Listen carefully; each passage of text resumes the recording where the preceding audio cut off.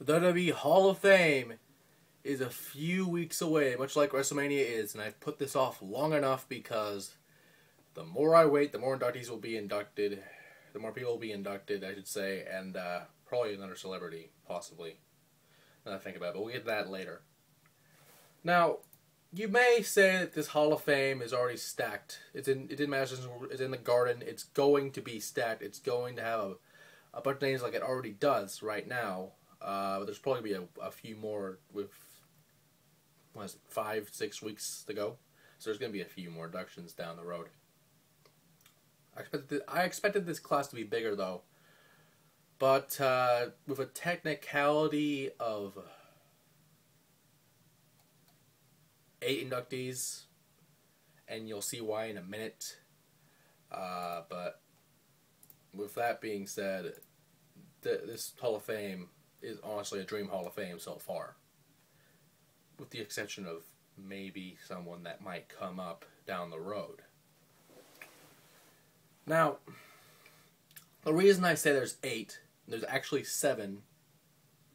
Wait, no, one, two, three, four. There's actually five. I'm I'm counting wrong, and the reason I'm counting wrong is because the first inductee that they announced was Mick Foley. And the technicality is the four faces of Foley being inducted. Which face will be inducted? Probably all four will be inducted.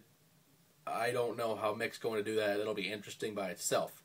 But the reason I say that because, in a way, with these alter egos Miss uh, Mrs. Foley's baby boy has made over the years as Mankind, Cactus Jack, Dude Love, and of course the lovable little old Mickles. Uh, it really makes me wonder who is going to show up at that Hall of Fame. Which one's going to come out? Maybe all four come to their own little speech. I don't know. That'd be interesting. But, you know, with Mick Foley overall, this is long overdue in my mind. A lot of these are long overdue. But, uh, some more than others, but Mick, honestly, is probably one of the best right now. And uh, with Mick being Mick, uh, I can honestly say that he will do something interesting at the Hall of Fame. But one thing I always like to bring out, besides the fact that Mick Foley is a former WWE champion, the former three-time WWE champion, former, uh, I think WCW had a, he had the tag gold. That's pretty much it in WCW, but ECW tag champion, ECW something. I think he was something in there. Original ECW champ. The first hardcore champion. That's what I'm trying to think of. The first hardcore champion. When the belt was, and people that don't know the story of the hardcore championship, uh, I'll do it quickly. Uh, the hardcore championship was actually the World Wrestling Federation belt that was broken by Mr. Perfect and the Genius back in the day, and they just taped it up, duct tape, made hardcore title, and gave Mick his own belt when he was in the corporation. And years later, we have a fellow inductee that is actually a hardcore champion, and I'll get to later. But um, you know the mat, the title we see, know and love today, and wish that was still around today. But uh, you know, if Mick Foley being WWE champion, tag champion, hardcore champion, obviously, I don't remember if he had the Europe. He didn't. I don't. I don't remember if he had the Intercontinental. I don't think he did. But it was mostly the tag world title and hardcore. That's pretty much all I remember. Besides from being a few Royal Rumble winners, and one of the first moments I remember watching as a fan, besides like an Owen Hart match, was uh, I believe Mick Foley with Socko being the referee against Big Show. They showed that match. I guess they had like a weekly thing that Coach hosted or whoever hosted back then. I, am surprised I even remember it. But uh, I believe it was the match with Big Show and. Uh, Mick Foley being the referee for the the title match at WrestleMania 2000. No, it wasn't 2000. It was some match at WrestleMania though. I don't think it was 2000 because Mick was in that match uh, as a competitor. But it was it was one of the WrestleManias that they needed a special guest referee, and Mankind was referee because he won that match. And Socko was just awesome back then, which he still is. And uh, I wouldn't uh, be a Mick Foley fan without a mention of Yurple the Clown and that clusterfuck for This Is Your Life with Mick uh, Rock, Rocket Sock Connection. I mean, there's a billion things I could say about Mick Foley. The whole video could be about Mick Foley for fuck's sake.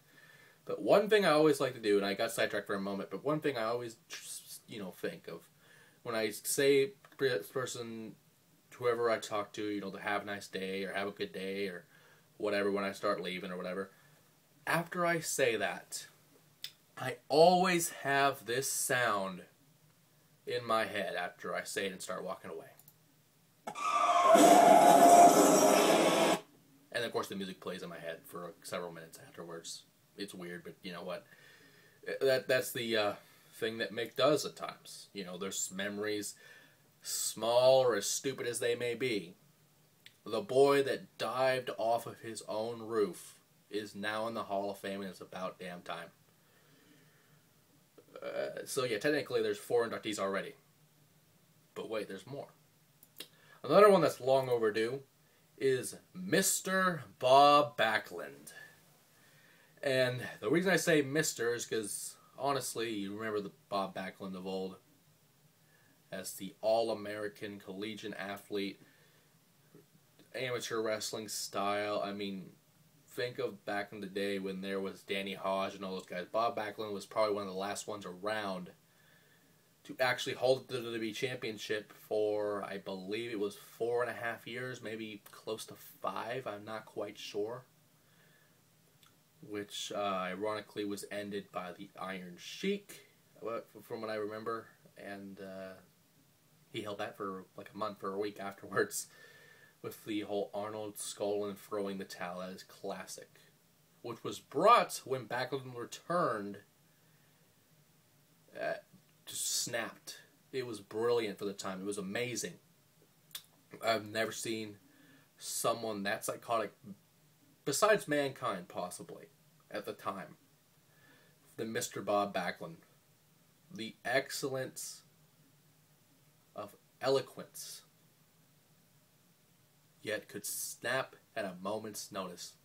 It's the Damien Sandow of today, without the mental problems, obviously.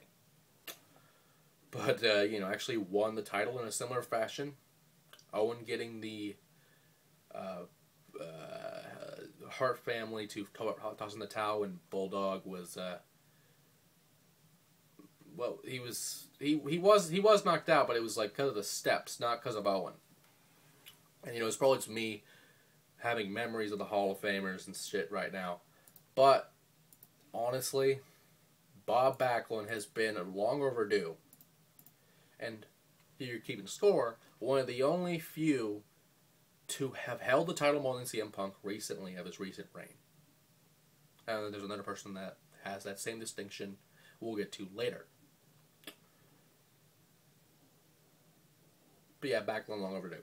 Anyway, the first female inductee of this class, possibly there will be one or two more of those, hopefully, because they always do a female induction every year, it seems.